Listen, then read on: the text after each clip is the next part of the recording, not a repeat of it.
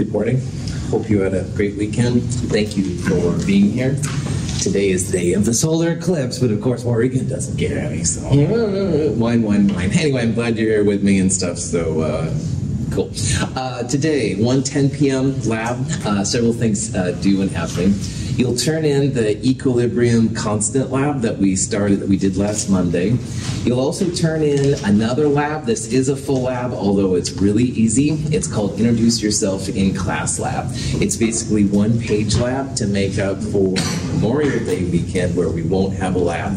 It is a full lab though, so if you don't have it, it'll be late, blah, blah, blah. Um, set number one is up. Bring problem set number one in.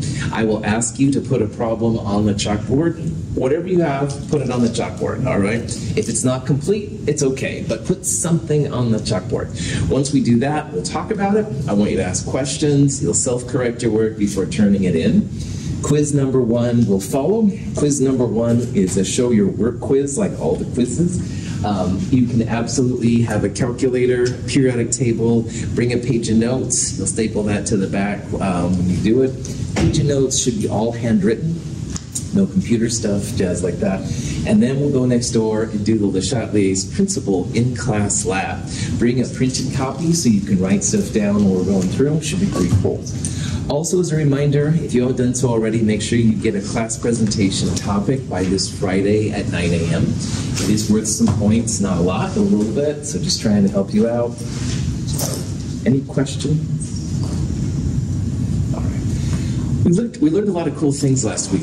We learned about the equilibrium constant K. Equilibrium constant is always products divided by reactants. So for this reaction, where butane is being turned into isobutane slash methylpropane, uh, butane would be the reactant and isobutane would be the product. So your K would be isobutane divided by butane itself. The equilibrium constant number has meaning for chemists. First of all, K is never zero or negative. K will always be a positive number. But if it's greater than one or less than one is important. K is greater than one mean more product, while K is less than one mean more reactant. So because isobutane here is the product, at equilibrium, we would think we'd have more isobutane than we'd have butane. Excuse me. This is a graph of the concentration of isobutane versus butane. And if you're at equilibrium, K is like a slope, all right, where the y-intercept is zero. So this line right here is a slope of 2.5, and that represents all the points where the concentrations of isobutane divided by butane are equal to 2.5. Now, another thing we talked about uh, starting on Friday, I think it was, was this Le Chatelier's principle. And this will be something we'll talk about a lot Chatelier's principle is a way to understand shifts to the equilibrium. So, for example, we talked about one way to use uh, Q, the reaction quotient, is to see if your reaction is at equilibrium. Q looks the same as K, products over reactants, blah, blah, blah. But Le Chatelier's principle also helps you to figure out what's going to happen. So this is another possibility here where we've got an equilibrium between isobutane and butane and if you take 1.25, divide it by 0.5, products over reactants, you will get a K of 2.5. So this system is at equilibrium. But we are disturbing it. And that doesn't mean like showing bad images that would scare most people or something like that. It means that we're adding a more chemical. And in this case, we're going to add 1.50 moles per liter more butane. So Le Chatelier's principle is super helpful here. If you add more butane, anytime you add a chemical, the reaction is going to shift to the other side. So if you add butane, it should shift to make more isobutane. Conversely, if we added more isobutane, it would shift to make more butane. It always adds to the opposite side, moves to the opposite side. Conversely, if you take away a chemical, the reaction will try to make more of what you removed. All right, and that's another thing we talked about a little bit on Friday. But here, right now, we've got an equilibrium, chemicals are happy, and we're adding 1.50 molar additional reactant butane. So the question is, what's the new isobutane and butane concentrations? And we'll see how you can calculate that pretty readily. Butane and isobutane can interconvert to reach a dynamic equilibrium. The graph shows the equilibrium line. If we add butane to the system, the equilibrium is disturbed and the butane reacts to form isobutane until the equilibrium is reestablished. So the lighter blue line here represents the amount of the reactant you're adding, butane. You had uh, uh, 0.5, and then all of a sudden we're adding 1.5, so it goes over here on the axis to 2. But what's going to happen now is it will go back to equilibrium. Equilibrium is like Mother Nature's way of saying everything's got it together. So over here, it doesn't have it together. but here on that red line, it does. So this is Le Chatelier's principle. What's happening is the butane concentration is going to go down, it's moving to the left. Conversely, then the product, the isobutane concentration is increasing. And that's what I said. If you add like a reactant, you're going to make more product. If you add more product, you're going to make more reactant, stuff like that. Now, mathematically, what you can do is calculate this Q thing, this reaction quotient, and just see what's going to happen. So iso divided by the butane. Isobutane initially is this 1.25. Initially you had 0.5 butane, but all of a sudden now we're adding extra butane. So when you calculate this thing, 0.625 is the value of Q. And if you compare that to the K, 2.5, this is certainly less than 2.5. So if Q is less than K, that means the reaction when it becomes more like K. So to make this number more like 2.5, you can either increase the numerator or decrease the denominator. In math, both of those will make the number bigger. And both of those mean that this reaction is going to make more products. And a shift to the right, which is what you should put right there, a shift to the right is chemist's way of saying more products, less reactants is what we would predict is going to go on. Any questions on that? So what you can do then to figure out the actual concentrations is set up then an ICE table. Initially, we've got 0.50 and this 1.52, so you could add, put just 2 down, which is fine. And isobutane is 1.25. Now, because Q was less than K, that means more products. So this is going to be the plus X. One of these is going to be negative and one of them is going to be positive. And because Q was less than K, that means you're going to shift to the right more products. So the product isobutane will go up and this thing will go down. So at equilibrium, you'll have 1.25 plus X and 2 minus X for the reactant. And you can take both of these equilibrium values and set them equal to the K 2.50 and this is one equation, one unknown. Now to solve this, you would take 2.50 times 2 minus x, and that would equal 1.25 plus x. And you can isolate the x's, get the numbers on one side. x comes out to be 1.07 moles per liter. Yes, you can use the solve button on your calculator if you want to. Uh, all of these are possibilities in order to figure out what's going on. So if this is the X, we can plug them in up here to figure out then the iso and butane concentrations. So butane will be 2 minus 1.07.93, and isobutane will be 1.25 plus 1.07, 2.32. And we see that certainly ISO has gone up, butane has gone down, all right? So the reaction has shifted to the right, like Q predicted, like Le Chatelier's principle predicted. It's all coming together. Any questions? So today, both in theory and in lab, let's have a little review of all this Le Chatelier's principle stuff, all right? Um, first of all, Le Chatelier's principle is really powerful, and we'll use it all throughout Chem 223 to make predictions as to how reactions will go. If you change the temperature, all right, then it's nice to know if it's exothermic or endothermic. And we saw like exothermic means heats a product and endothermic heats a reactant you can absolutely use Le Chatelier's principle to see what's going to go down. But these changes actually change K, all right? The number of K will change if you change the temperature, but all Le Chatelier's principle still works and stuff like that. If you take away reactant or product, or if you add reactant or product, Le Chatelier's principle absolutely works. Now, K doesn't change in these kind of cases. So if you add something, the reaction shifts to the opposite side. So in that last example, we added a reactant, it shifted to the product side. You can absolutely add product and have it shift to the reactant side. Conversely, if you take something away, it's going to move to the side that you take it away from. So on Friday, we talked about that Haber-Bosch reaction. Taking away ammonia is going to make more ammonia. It's going to start coming together. And if you take away reactants, you'll make more reactant. Catalysts don't change the reaction. All right, it'll make the equilibrium come a lot faster, uh, but they don't actually change the K value, and it doesn't do anything else. So if you saw anything about a catalyst, whatever kind, there's lots of different names for them out there. Those don't affect K. Nothing's going to happen with them.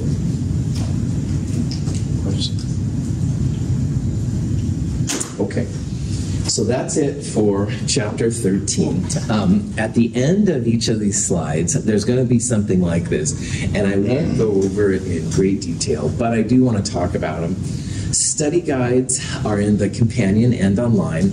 They're bulleted lists of the highlights from these different chapters that are kind of important. And if you have the time and this is interesting to you, you can go through and just say, oh yeah, I remember that, that, that. But maybe you'll see one like, hmm, I don't remember that. So that might be a cool thing to look at, make sure you're up to speed. Concept guides are also in the companion and online. Those are worked problems from the different chapters. So you can see like how to calculate K, how to use ICE tables, how to use Q, Le Chatelier, stuff like that. The answers are provided, so it's kind of a cool thing to go over make sure you're good. Sometimes there will be other handouts. There's many different types of equilibrium constants. In this chapter, we saw Kc, which is moles per liter concentration equilibrium. We also saw Kp, which is a pressure-based equilibrium. There are other types we'll see in upcoming chapters. This is just like a list of them. Uh, this is again in companion and online. Also, following each of these chapters, there's one page of equations, which I think are kind of important, kind of a summary of what's important. And there's also some end of chapter problems with answers. So I'll show them today. Um, this is the important equations for this chapter. And again, I'm hoping that you can kind of look through this and see what's going on. Uh, if there's any constants which are important, I'll throw those in there as well. And then finally, there are some end of chapter problems. So here's five, sometimes it's less, sometimes it's more questions, asking you different things about these chapters. And then the, the answers are on the next slide. So if they're helpful to you, cool. If they're not, don't worry about it. It's just one more thing that you can look at if you're interested. But finally, Chem 223, we can finally start talking about acids and bases. Now, why I'm so excited, besides the fact that I'm nerdy, is the fact that acids and bases are huge in chemistry. And I've been kind of tiptoeing around them so far. Like in Chem 221, we talked a little bit about strong and weak acids and bases. We mentioned them and stuff, but we haven't really talked about what you can do with them. And the reason for it is that we haven't known about equilibrium. Well, oh yeah, now that we are talking about equilibrium constants, we can start to see their true power in chemistry. People think about acids and bases a lot when they think about chemistry, and so that's why it's kind of frustrating. It takes us this long. On a practical level, so many things around us are either acidic or basic. Um, in a nutshell, things that we eat and drink more often are acidic, and things that we use for cleaners around the house are more basic, all right? So it's kind of interesting. So meats and fruits, definitely, and stuff like that are acidic. A lot of the cleaners and stuff, though, are a little bit basic. And I did mention briefly in Chem 221, if you were with me then, about the pH scale. And that's going to come back big time. We'll see how you can use the pH scale and different things you can do. So get ready. Here we go. Now, this is actually a topic which is we're going to split into two different sections. And this part, which I'm calling Chapter 14, Part 1, is acids and bases more or less by themselves. All right, so what's the pH of an acid by itself, or a pH of a base by itself? In Chapter 14, Part 2, we'll see what happens when acids and bases come together. We'll do a little bit of that here, but more of it is in Chapter 14, Part 2. So here we go. In Chem 221, if you took Chem 221 or whenever you took it, um, there was a brief intro to acids and bases, but we need to talk about it again because I can't remember what I had for breakfast this morning. So acids and bases are big powerhouses of energy when it comes to chemistry, and they split them into strong and weak categories, all right? So strong acids will be things like nitric acid. Nitric acid is one of the strongest acids out there. Now, nitric acid reacts with water and it makes hydronium, which is what the H3O plus ion is, and the nitrate ion. Now, after what we just talked about in the last chapter, notice the single arrow. All right, this is not an equilibrium. This is actually an old, good old-fashioned one-way arrow, like we talked about in Chem 221, Chem 222. So some reactions are so powerful, so product favored, that we do use the single arrow. So this does not have an equilibrium. All of the nitric acid is uh, converted into hydronium and nitrate. When a few drops of water are added to solid calcium hydride, a violent reaction occurs that produces hydrogen gas. these reactions are real powerful. All right, they're not ones where you like, hmm, did something happen or not? No, these things you know right away what's going on. So like this one, you can see the stuff went flying all over the place. Uh, that's strong acid, strong base reaction, big time. When nitric acid, HNO3, encounters a water molecule, it forms an acidic solution by donating a proton, the H plus ion, to the water to form a hydronium ion and a nitrate ion. Hydronium is really what makes an acid an acid. Nitric acid creates hydronium, but the hydronium is really what makes this an acid. And hydronium can be listed in different ways. Sometimes you'll see it as just H+, plus, but what we'll use most of the time in this class is the true hydronium, H3O+. And some people think there are four waters for H+, plus, blah, blah, blah. We're not going to go there. We're going to assume that good old hydronium is one hydrogen ion with water making H3O+. And all of the strong acids will do this. Now in Chem 221, I told everybody, and I'm going to tell you to do this too in Chem 223, there are five strong acids. All right, and those five acids are very common. They're used a lot because you get a heck of a lot of energy out of them. It is a good idea to know slash memorize slash put on your page of notes these five acids, all right? They're strong, they dissociate 100%, they're single arrows, no equilibrium here, and they all make hydronium. So if we put 0.1 molar hydrochloric acid in water, we really have 0.1 molar hydronium, all right? You've also got 0.1 molar chloride, but that's gonna be boring. Now, this is a new term, monoprotic. That means that these acids give one H plus off per molecule. So HNO3 gives one H plus, and HClO4 gives one H plus. There are diprotic, which means two H pluses, and triprotic acids, and sometimes even more. However, those are more rare. These are the five I want you to know. If there are any diprotic or triprotic acids that are strong, I will let you know. All right, I would tell you that. But these five I want you to know. Perchloric acid is probably the most rare acid. Um, it's incredibly reactive. If you look at our fume hoods, it says these fume hoods are not appropriate for perchloric acid. Apparently, the perchloric acid gets into the mechanism and messes it up. I don't know. But perchloric acid is really strong, nothing to mess around with. Oh, yes coolest license plate uh, ever. Some of my students sent me this and stuff. HCL? Oh, if only my car had HCL. All right, getting too excited here. Know those five strong acids. All right, it's going to be super, super important. No, you don't have to wonder why. I think that would be a cool license plate. Questions? Yeah. Monoprotic is when it emits that one hydrogen? Yeah, that's right. So it would be like on the product side? On the product side, you would have one hydronium and whatever is left. All right. So let's say it was HBr, you would have H3O and bromide. And if it was perchloric acid, you'd have H3O plus and perchlorate right there.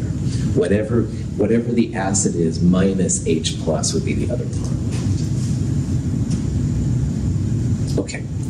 Now, why it's good to know those five strong acids is there are literally thousands upon thousands of weak acids, and those acids dominate our world. Almost everything that we eat and drink is a little bit acidic. And so our bodies are used to consuming things that have a slight acidic, thank you, slight acidic twist to it. And probably the most common of all these acids is acetic acid. If you've had vinegar recently, the active ingredient in vinegar is acetic acid. It gives it kind of the kick to it. Then there's lots of, you know, spices and stuff like that that go with it, which is different. But anyway, acetic acid is used a lot in the lab as well.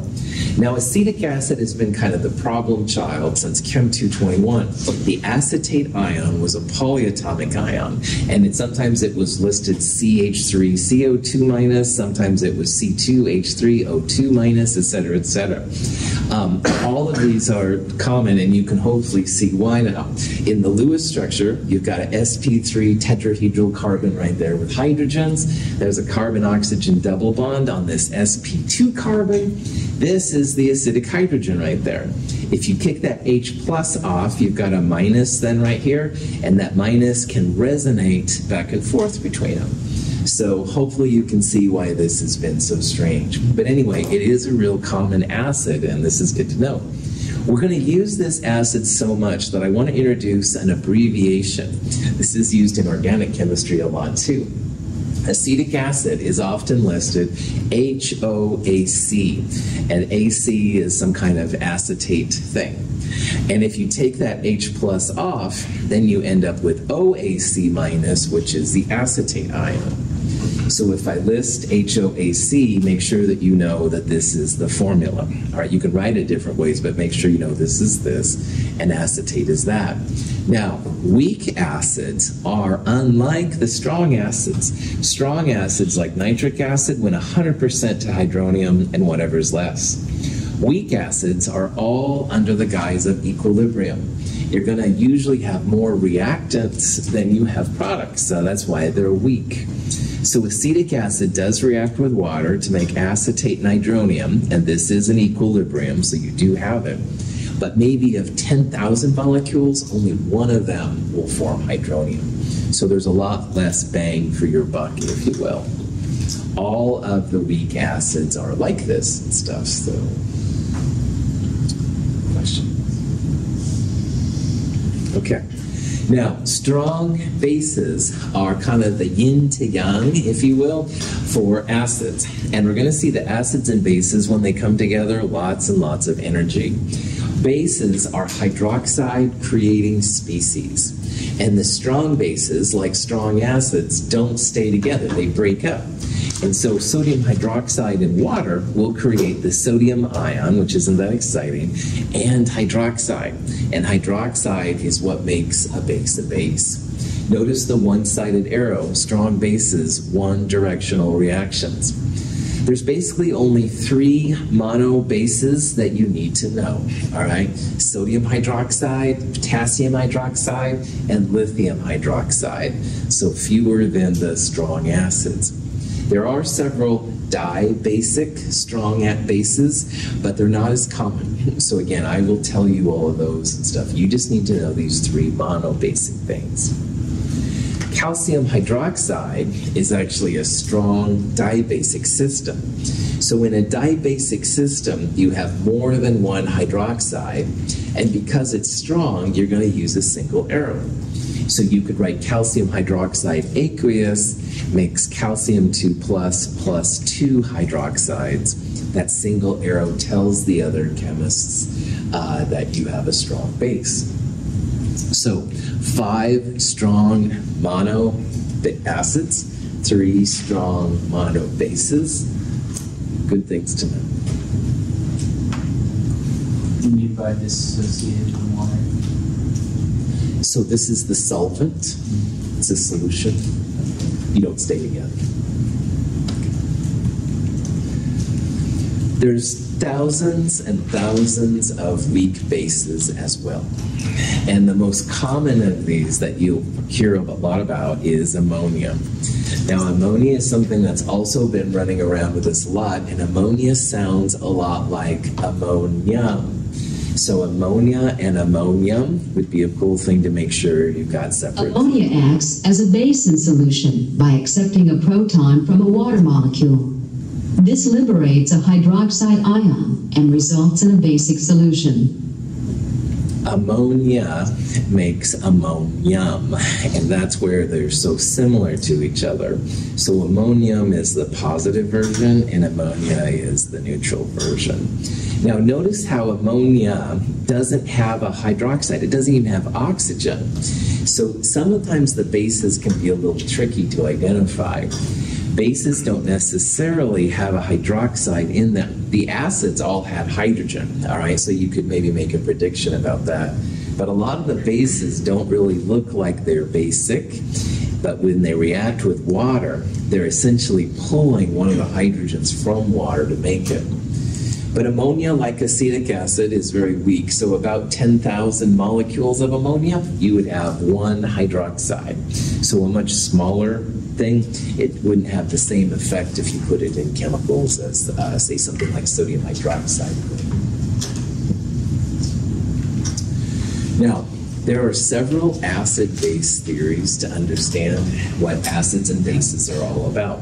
And most of the time in this class, we're going to use what's called the Bronsted-Lowry theory. It used to be called just Bronsted. I think chemists liked it because it's got that cool with the circle in it. But apparently Lowry had notes and stuff from around the same time, so now it's called Bronsted-Lowry theory, no problem. Uh, Bronsted-Lowry theory is really helpful to identify what an acid is and what a base is.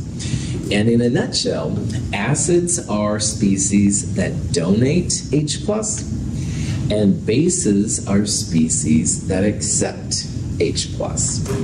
So it seems very simple, and it's not too crazy. But just remember that the acids are going to get rid of an H plus, and the bases will be things that accept an H plus. There's a handout about this, but we'll go through some examples of how to identify a Bronsted acid and a Bronsted base. This is ammonia, and this is water. And I said earlier how ammonia is a base. We can see here how it's classified as a base by the Bronsted theory. Ammonia acts as a base in solution by accepting a proton from a water molecule. This liberates a hydroxide ion and results in a basic solution. So if a base is a hydrogen acceptor, all right, ammonia is going to accept an H plus from water to make ammonia. But it's interesting here because if you have a base accepting an H plus, then something else must be donating an H plus i.e., it's a Bronsted acid. So water here is acting as an acid. It's giving up an H plus to the ammonia. So one thing that's really weird about acid-base theory, and I don't care if you believe in this stuff or not, but in Chinese uh, spirituality, whatever, there's the yin-yang. It's like a circle, kind of half white, half black. There's a little black on the white, a little white in the black.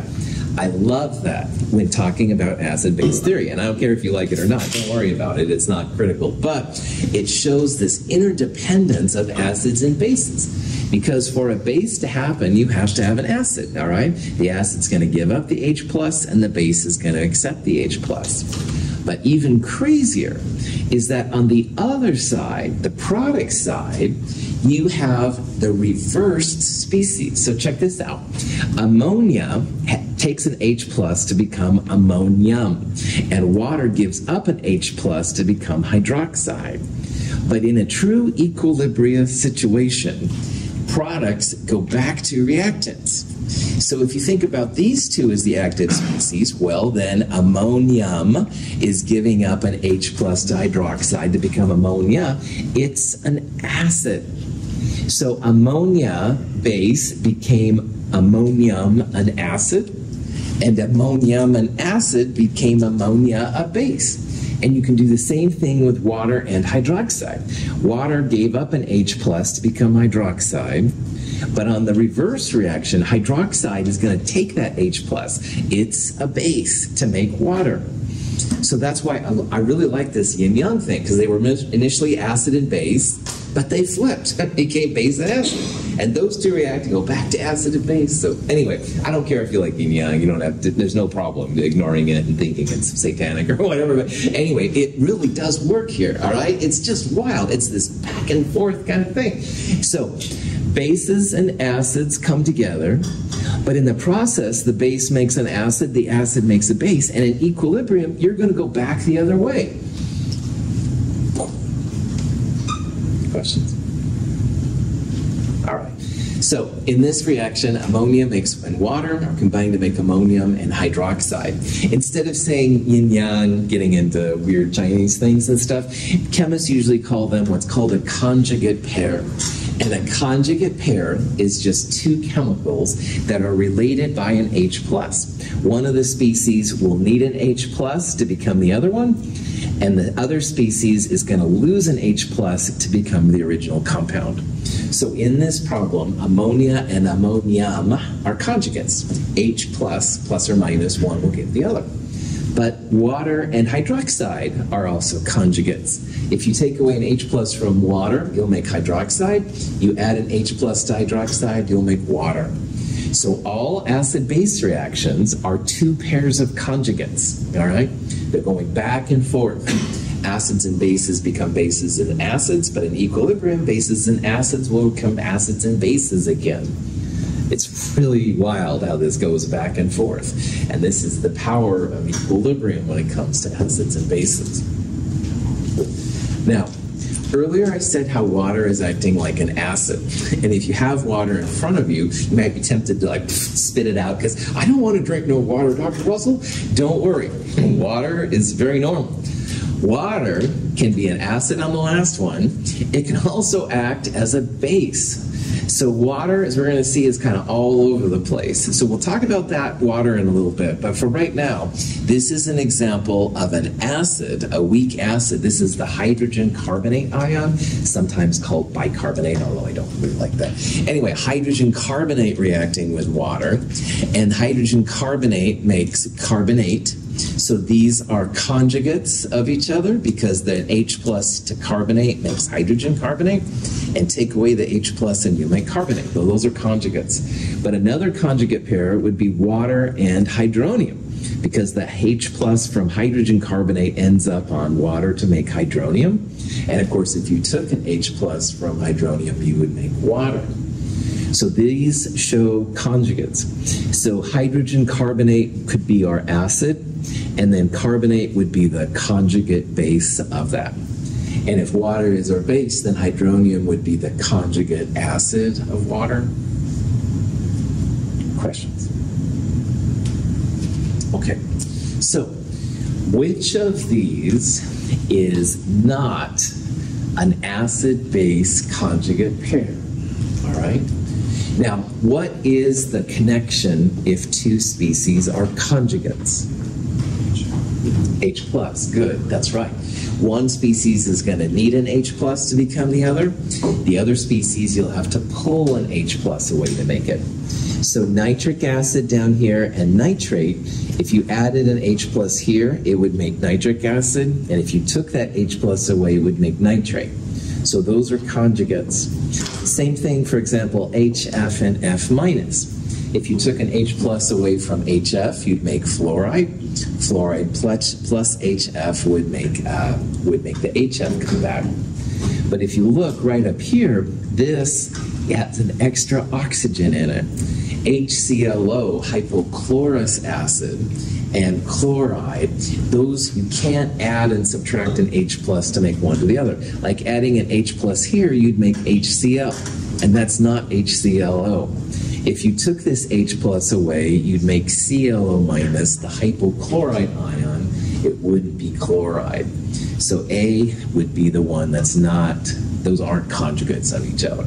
It's only an H plus that can go back and forth between those. Questions? All right. Without the addition of any other substances, two water molecules can interact with each other to produce a hydronium ion and a hydroxide ion by transfer of a proton from one water molecule to another. This process is called autoionization.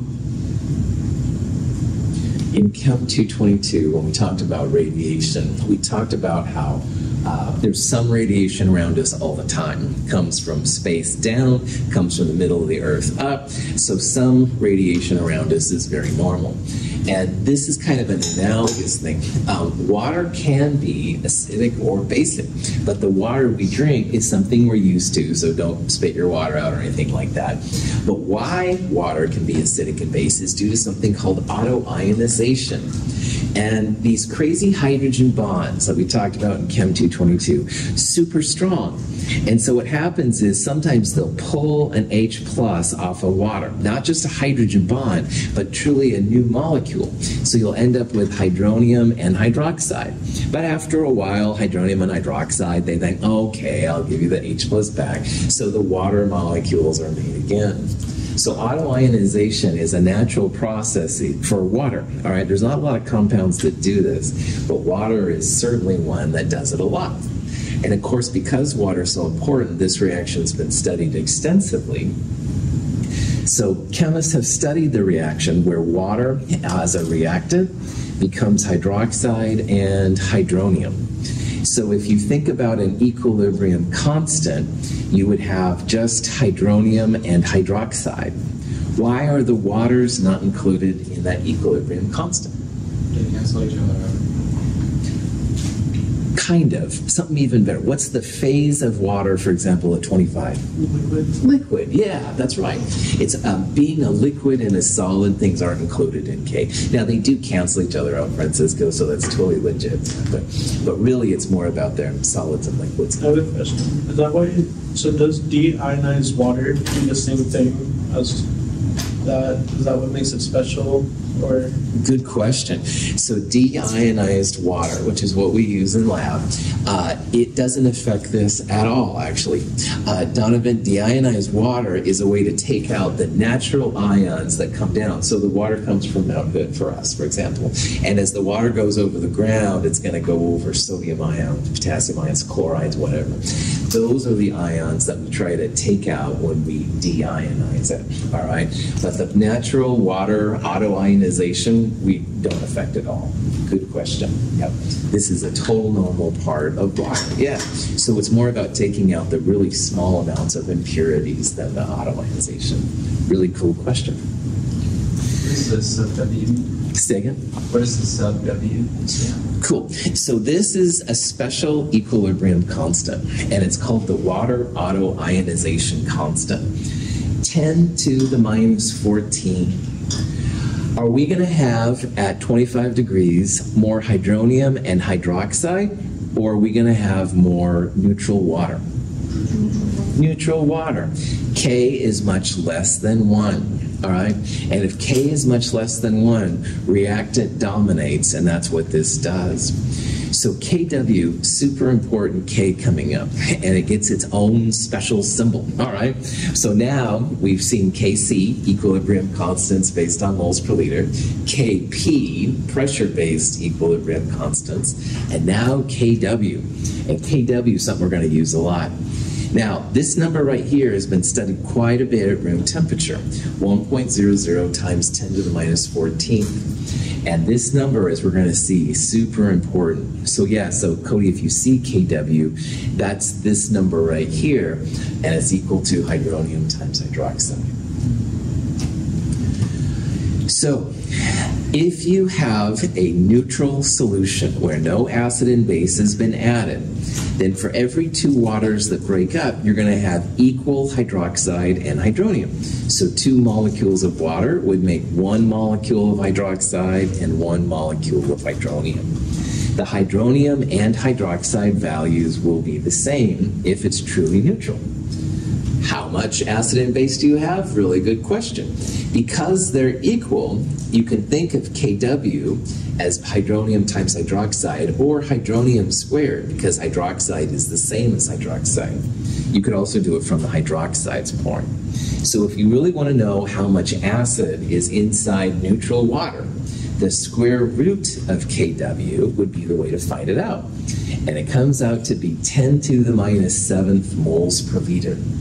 Now, in terms of molarity numbers, is that a high concentration or is that a small concentration? Small, that's right. Like today in lab, you're going to use 0.1 moles per liter, maybe 0.001 moles per liter, stuff like that. 10 to the minus seventh is very, very, very small. So the water we drink doesn't have a lot of acid in it. It doesn't have a lot of base in it, i.e., doesn't have a lot of hydronium or hydroxide. So don't go throwing your water out or anything like that. You need it to live. Uh, it's a very small amount, and that's what our bodies are used to. So all water that you drink will have some acid and some base, but really, really, really, really small.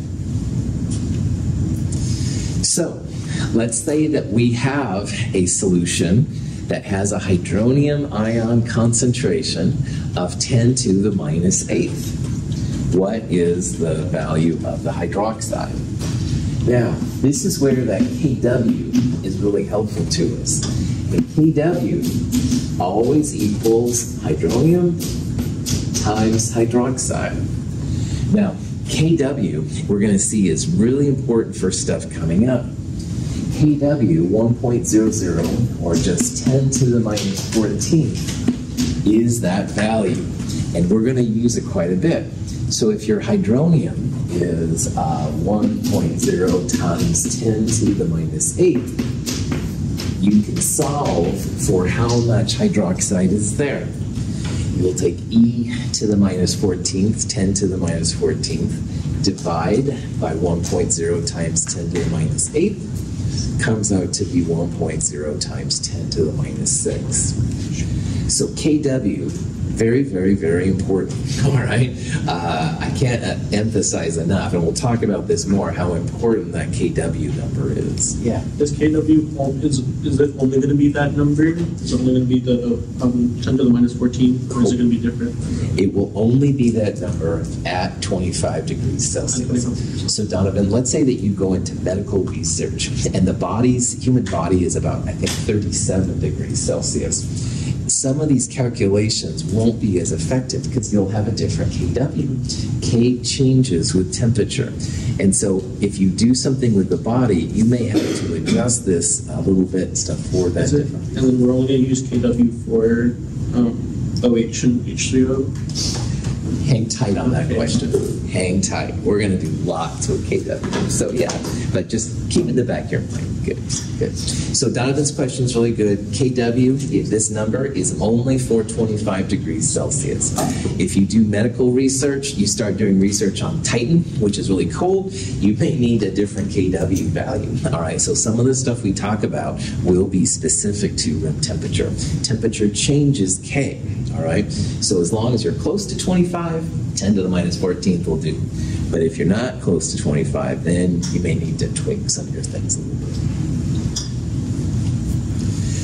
So, let's say that we have some water and we place a little bit of Drano. Drano is especially the good old solid ones. Drano is essentially pure sodium hydroxide. In this case, we're putting 0.0010 moles sodium hydroxide in a liter.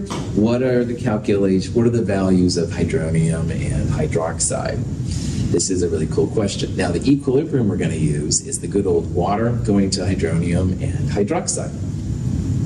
But before we do any math with ICE tables, blah, blah, blah, let's think about here what's going on, all right? If you've got this equilibrium going on, and you start adding a bunch of hydroxide to it, all right, what's going to happen? All right, well, hydroxide is going to make this number go way, way, way up because we're adding a lot of it. But this is Kw, equilibrium.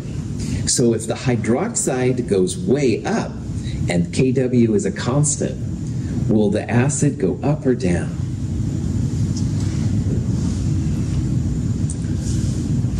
Down. Down. Well done. Yeah, they're going to be opposite each other. All right. If your base goes up, the acid's going to go down. If the acid goes up, the base is going to go down. So here you've got neutral water just kind of hanging out, and you blast it with all kinds of hydroxide. Well, that's going to make the reaction shift to the left. And in the process, your hydronium is going to start going down. Just remember, acids and bases are kind of opposite each other. So you add a base, you'll have less acid. Or if you add an acid, you'd have less base. So we predict that with Le Chatelier's, this is going to shift to the left. Your hydronium, which was 10 to the minus 7th, is going to go down quite a bit. All right? So this is, again, where the Le Chatelier's can really help out with these kind of things. Questions on that? Okay, so let's set up an ICE table. Water is a liquid, don't need that in the calculations. Hydronium we'll assume is zero, hydroxide 0.010. All right. Now, water is going to dissociate a little bit to hydronium hydroxide. We'll call it X, but it should be pretty small. All right. So at equilibrium, we will have some X. Remember, equilibrium means you're going to have non zero amounts of everything. So even though it's going to be small, you will have some and you'll have 0.010 plus x. So at equilibrium, these are the things will equal to kW. kW 10 to the minus 14th. All right. Now, this little x is going to be really, really small. And one thing we talked about uh, last week in the intro lab is that if you have a thousand and you take away one, by six figs, it's still basically a thousand. Well, this is a 10 to the minus 3. And before the hydroxide was added, hydroxide was 10 to the minus 7th. And x is going to be pretty small compared to that. So for all of these reasons, you can ignore this little plus x. Now, besides just being lazy chemist, all right, there's a reason why this is useful. Because right now, this would be a quadratic formula. And with a solve function on your calculator, you could make mincemeat of this. It's true. However, it's even easier if you can pull this little plus x out because when it was 10 to the minus 7th, it wouldn't make any difference. This number is so big. And it should be an even smaller number here in a little bit. So we're going to pull that plus x out. We're going to keep from going to a quadratic. And this equation becomes a lot easier because kW, 10 to the minus 14th, was going to equal x times this. But pulling the x out, then kW equals x times this number. And remember, x is going to be the hydronium. So if you do that, 10 to the minus 14th, that kW I want you to know, divided by the hydroxide is what the uh, H is what X is going to be. And X comes out to be 1.0 times 10 to the minus 11th. Now, Prophet, I see Karina going, oh, Russell, you're making too many assumptions here, right? So I want to have, I want to be in good graces with how she thinks about me. So let's say that you're nervous about taking this plus x out. First of all, you can always do quadratic, all right? It's totally cool. However, 10 to the minus 11th plus 10 to the minus 3, still 10 to the minus 3. All right? Really, it's okay to do it. But if you ever doubt it, go back, do the quadratic. Don't take my word for it. I am trying to save you time, and I wouldn't do it if it was wonky, I, I promise. But anyway, you can always go back and try it to make sure. Back on. Questions? Okay.